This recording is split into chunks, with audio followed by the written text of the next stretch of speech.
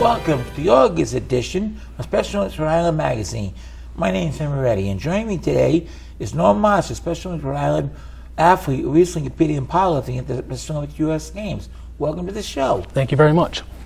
Norm, how did you feel when you were selected to participate in USA Games? Uh, I felt very honored. It was it's such an honor to be picked for a nationals game games. Um, I got picked back in 2010, and that was an honor. But to be chosen to go again is just when I opened up that letter and I saw it, it was it was awesome. It, words can't describe how it felt. It was just it's such an honor to be picked out of It all is, the great athletes in Rhode Island. Yep. So. Um, you do, um, you, was your family excited too for you? Um, yeah, my family was very excited for That's me. nice. Uh, everyone was What event did you compete and how did you place? Um, I competed in powerlifting, specifically bench press, and I got first place. Congratulations. Thank you very I much. I see you got Thank your you. medal there. yep. Just- That is gorgeous. Thank you. How often did you train for the games? Um, I would train on my own um, three times a week, uh, twice at a gym in Jamestown called Balance Sport and Fitness. Um, and then as a team, we would go to Riverbend over in uh, South Kingstown on Saturdays. Tiger So- Patrick is your head coach. Yes, uh, Yes. with Joe Patrick. Yep. Yeah. I understand your coach Joe had a great idea by asking parents to write letters to athletes so it would help inspire you more in your competitions. How did it affect you? Um, it affected me a lot, actually. Uh, just uh, I already knew that I had my family on my side, but just uh, reading that letter and being, you know, just seeing that really, it, it felt nice, and it was great to read that before I went out on stage and to be able to uh, uh, bench. And it was a lot of people.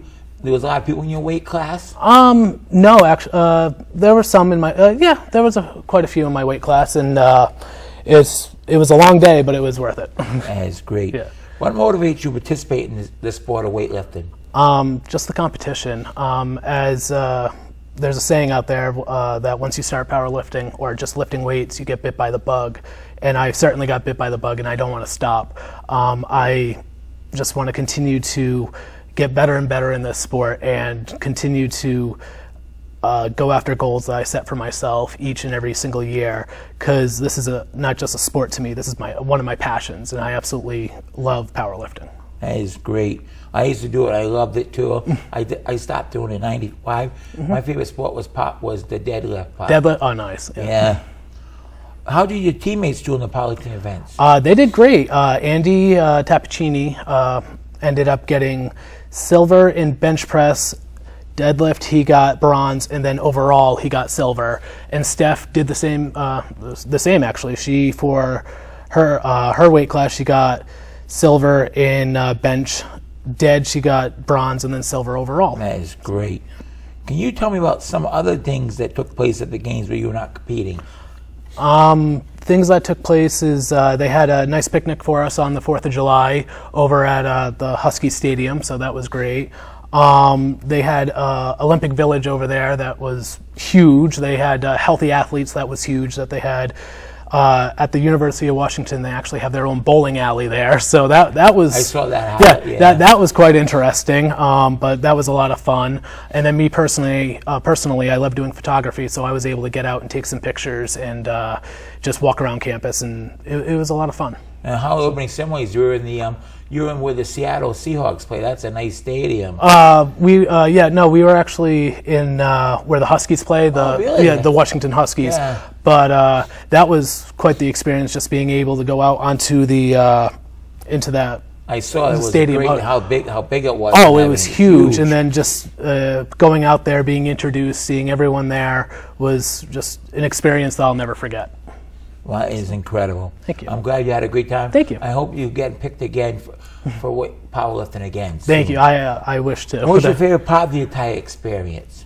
Um, my favorite part, uh, besides me getting my medal, is just uh, being able to. Uh, I know this was Steph's second time, but uh, just being able to see her get up there and uh, do her thing, that was awesome. And then Andy being his first time here, just seeing him excel was really that was an awesome experience to be able to see him excel. And then just going to other events, like going to uh, track and field and seeing Nick and Antonio, that was great. Them getting their medals and just the experience as a whole was something I won't forget because I hear Joe made a. You yeah, about Joe's video he made. Yeah, Joe made a video that uh, for everyone to see. Let's, let's, let's see a let's see a little of it of Joe's um, Patrick's video from the world's from the summit national summer games.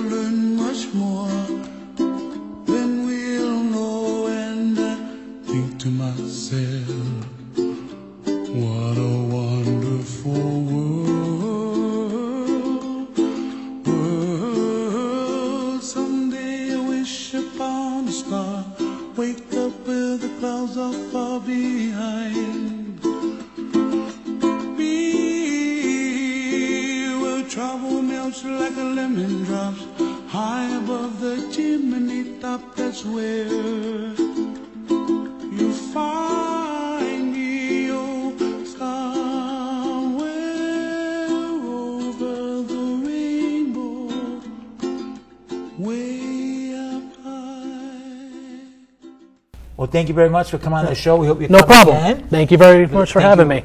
Uh, all Special Olympics around, we salute you and wish the best luck in all your endeavors and, and your medals you, you got in Seattle. Thank you very much, Henry. Appreciate More that. Special Mag- Magazine with these exciting messages.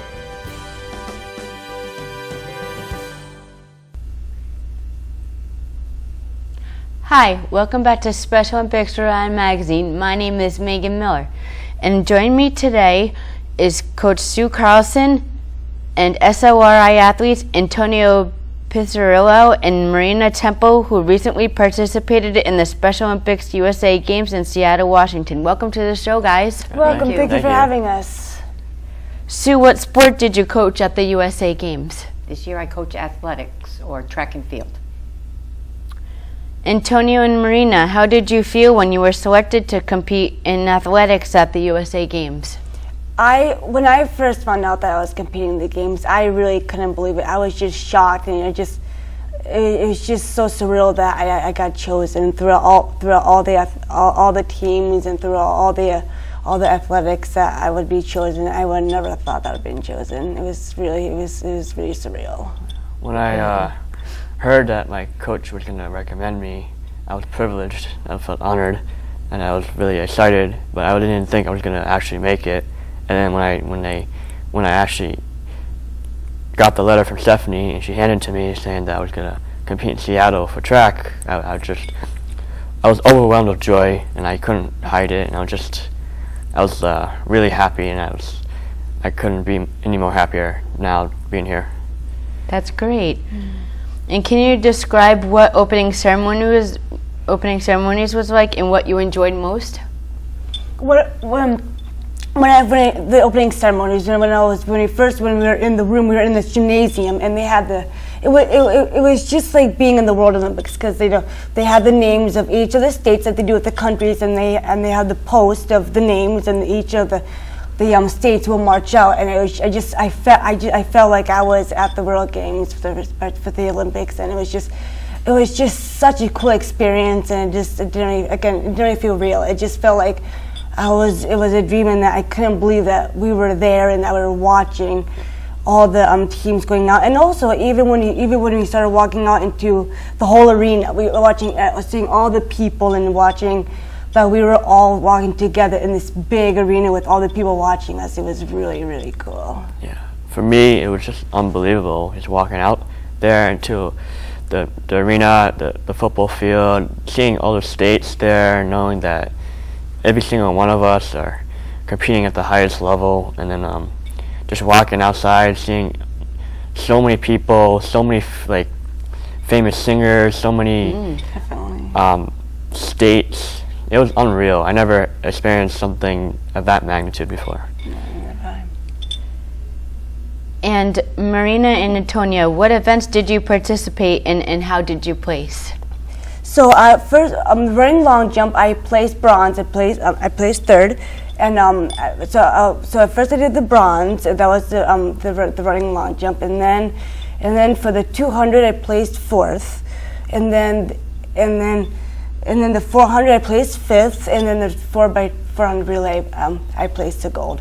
Um, each of the events were really, really cool. I think I, we all I, we, we all got PRs. I, we, I got PRs for all of my events, which basically a personal record throughout all the trainings of all the scores I have had previously. I got PRs in all of them, so I was really, really pleased. And I was just, and right before when I was doing my runnings, I was just thinking, I was like, I wasn't worried about getting a ribbon or a gold. I would just thought that you know whatever I get, I would be so happy and just so pleased that I was so honored just to be in in Seattle. Yeah, yeah. That I wasn't thinking like, yeah, well, if I get fourth or fifth, I'm gonna be so disappointed. I just hadn't, I wasn't thinking about that at all. I was just so excited for all the medals and the ribbons I got.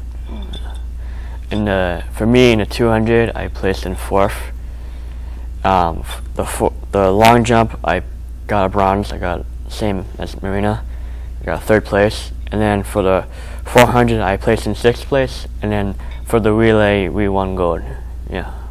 That's awesome. Yeah, it was it was just unbelievable. Um, the fact that our whole team during the relay was like, we all put our effort in, and we, you know, it was like we knew that there was like no going back. Right. This is like, like one our one once in a lifetime opportunity, and we um, we capitalized and we we got the gold. So I'm a swimmer. I know how intense relays can be and Yeah. how how Yeah. exciting they are to even watch the other people compete in it. Oh, I know, yeah, You're rooting for your teammates and you're yelling and by the time the relays are done, half the time there's no water left in the pool because we're splashing so much and yelling, "Go, go, go!" It's crazy. Yeah, definitely. similar.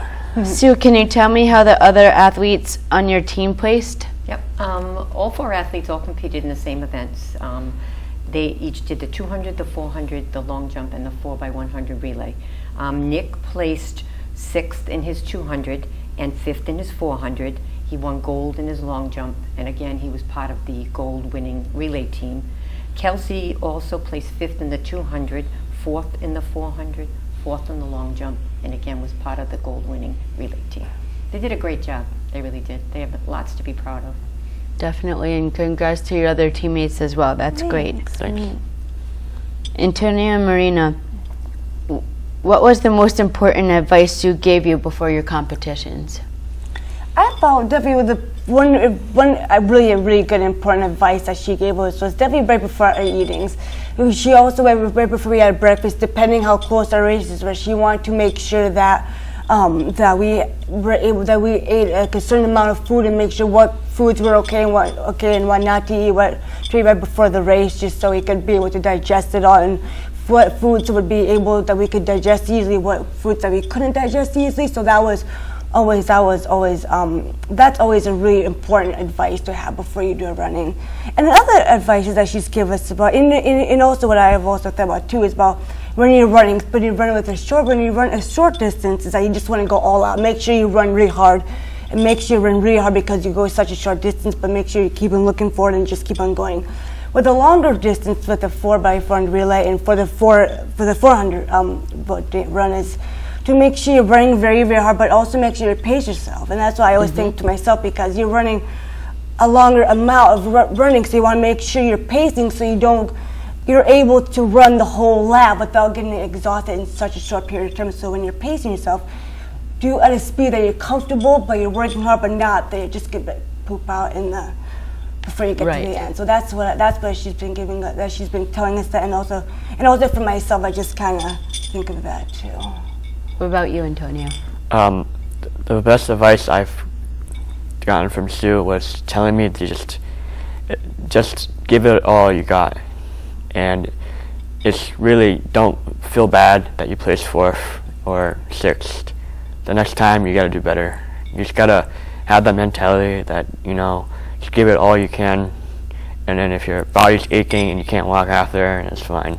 That means you gave it your all, and you're you're trying so hard to uh, to um, to compete, and um, and also getting enough sleep because Seattle's time was much different. So when if it was like nine o'clock at Seattle, it would be like at twelve o'clock in Rhode Island, or and it it, it really um, it can mess you up if you don't get enough sleep.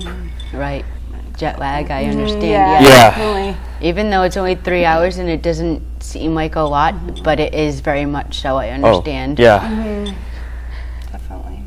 Um, Sue, how often did the team practice for the USA Games and how did you train them? Each athlete, or collectively, they were given a weekly schedule to follow, um, Monday through Saturday, with the Sunday as a rest day. We would try to get together twice a week based on their work schedules and meet and do workouts. But the expectation was that on the off days that they would continue to do their training independently.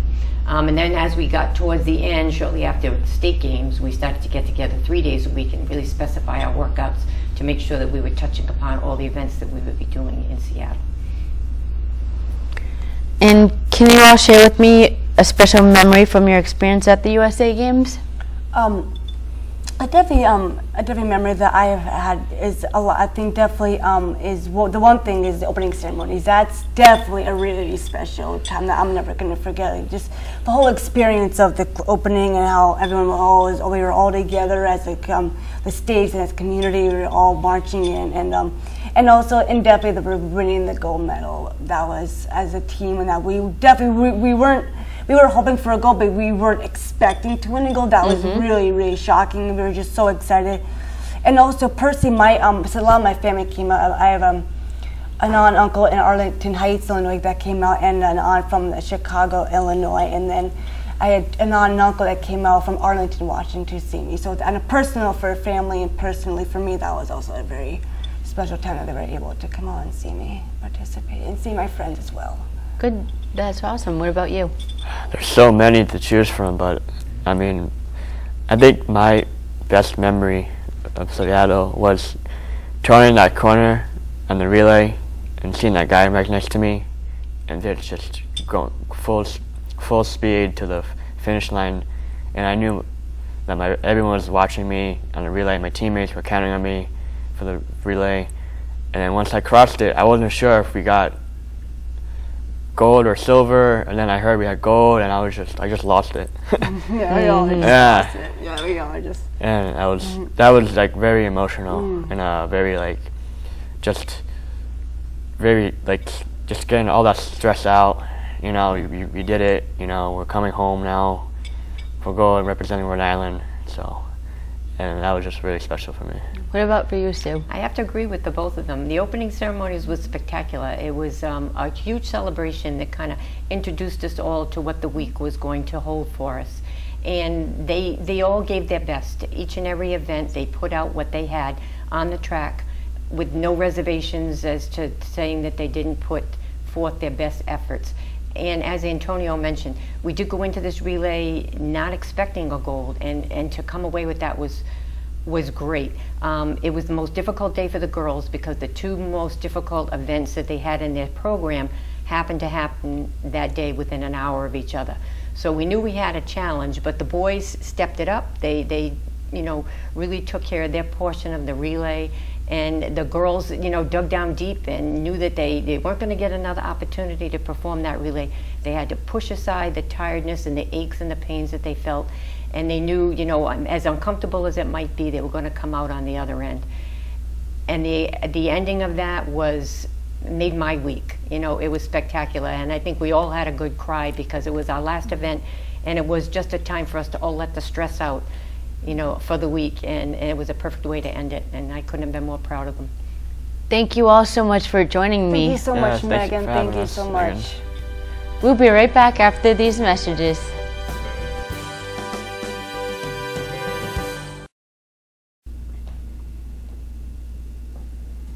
Welcome back to Special Olympics Rhode Island Magazine. Hi, I'm Mary Ellen Powers. Joining me now is Special Olympics Rhode Island athlete Ryan Fleming, his parents, Dennis and Karen, and his brother Patrick. Welcome to the show, you guys. Thank you very much. Thank you. Welcome. Ryan, congratulations on being selected to compete in swimming at the USA Games. It's was, very appreciated. oh. what was the experience like? Oh, what the experience is like? Um, it's amazing. I mean, you work hard, um, you get to hang out with friends, um, get to have a fun time, and spend uh, time together. Great. Um, now, what events did you compete in, and how did you place? So, all the events I did um, were there are two high performances: 100 fly and 100 free.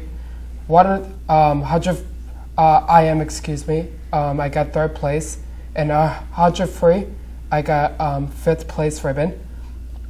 Um, so, and then 100 fly, I got third place, and so did the relay. Wow. Now, I, I am is individual medley, right? That is correct. Okay, I did my homework. You definitely did do your homework. um, Dennis and Karen, what was the experience like for you as parents uh, watching your son compete at the games? It was, it was just an amazing experience for our family. Our, you know, we all had were out there watching Ryan swim and the races and the families that were there, watching all the athletes from around the United States. It was just great. Oh, that's great. How about for you? That was a great experience. It was good. Uh, Ryan had to work really hard to compete. Um, he did a real nice job, and it's great to see the camaraderie and support that all the athletes give each other. Thanks, Dad. Um, now, Patrick, you must be so proud of your brother. How do you help motivate Ryan uh, when he competes? Um, I learned from him actually. He uh, motivated me throughout my whole life. He's been my rock all going throughout sports. It was cool to change sides for once because he was always my number one supporter, my number one fan. It was just cool. It was an awesome time. Oh, that's great. Um, now, uh, question for all of you: What was your favorite part of opening ceremonies? Ryan, you want to start? Well, let's do that. My favorite part about the opening ceremonies is um, it's like when you get to walk in through delegations. Um, when I uh, when I walk in with my Rhode Island delegation, I feel that um, I feel much experienced in the USA games now that I'm with Team Rhode Island, the best team. Great. How about for you, Patrick? Uh, it was cool. It was an awesome experience seeing like how they put it together, like the effort they all put into it. It wasn't. They made it so it was great for the athletes, and I think the athletes enjoyed it. Nice. And for you too? It was great to hear the stories that they had. Um, the governor spoke, and how all um, the kids just enjoyed themselves, and it was a really good time. I, I thought it was great watching all the athletes come in and how excited they were, high fiving everyone and jogging and dancing. It was it was a great experience. Oh, nice. I was watching on TV back at home, and it looked so exciting, and I felt the energy just watching it from TV. I can imagine what you, how you all felt being there. So. Um, now, Ryan, I understand you are a distance swimmer. Um, now, from one swimmer to another, uh, what advice would you give to me and other athletes who want to swim longer races? Well, that would be an answer that if you are an athlete or anyone else is an athlete, I think you should keep practice, practice, practice, and you should also stay healthy through eating, through athletic exercises, and everything. But just as long as you're having fun, that's all that matters. That's right. And just keep swimming, right? You bet. That's my motivation. Um, now, can you all each share a memory from your experience at the USA Games? that would start with me because um, so my experience at USA Games was fun. I get to spend time with friends from other delegations that I don't know of, especially that kid Brian Henry, which I could give him credit for um, for being a fast swimmer, which I could give him that. Um, but we have been friends since um, the first time we competed together. Um, like the um, we have something in common, like swimming um, fast, and we have good experience with swimming. That's just the way it is. Okay. How about for you, Patrick? What was your favorite memory? Um, just seeing him being like one of the youngest swimmers in his races and all the high performance races, like how excited he was, and just seeing him place, it was, it was actually it was awesome. Couldn't really, ex- it's hard to explain Wow. the emotion. That's great. How about for you, too? So watching Ryan swim one of his races, he um, had to work really hard to um, compete, and he actually made third place by I think it was 0.2 of a second. So it was just so exciting to watch, and his expressions on his face, and he was just such a good sportsman. You know, congratulating the winners and everything. It was awesome. That will be the dude from Texas when I got 0.2 seconds close to him. Wow. Sounds like uh, like it was a real close one. Like Yeah, it definitely close, by that close. Wow. Nail, it was nail biter. Wow. How about for you, sir? I, want to say, I guess the best experience is just to watch them all when they got their medals and how they cheered for each other. And, you know, it didn't matter if they came in first or fifth. Everyone shook everyone's hand. Everyone was happy. And all, all those kids out there and adults worked really hard. It was impressive. That's great. And the camaraderie is so amazing. That's a good opinion. You are a great example of that, um, the way you um, interact with other people you race against. Well, that is true because um, what I also learned that using good sportsmanship is a good example of being a good athlete. I mean, like you get to clap for whether if it's second place or first place, you get to clap because it's your friend. It's your mm-hmm. sportsmanship that that's counting on you. That's right. Well, congratulations again. Thank you very much. And, it- and it's a pleasure to have all of you here. Thank you. Thank you. Thank you time. Thank you, and thank you to Special Olympics for giving us this opportunity. Yeah, thank, Thank you, you. guys. You've really done best, Team Rhode Island. Be sure to tune in next month for another great edition of Special Olympics Rhode Island Magazine.